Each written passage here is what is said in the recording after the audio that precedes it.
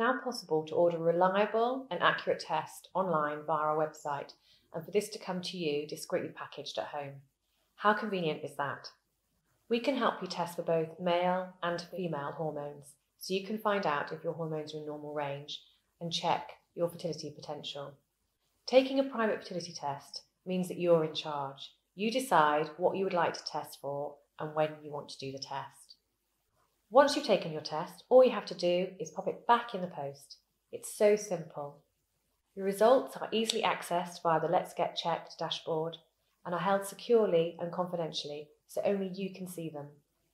What's more, your results are reviewed carefully by a doctor and you have the opportunity to chat to a nurse about your results, what this means for you, and your next steps.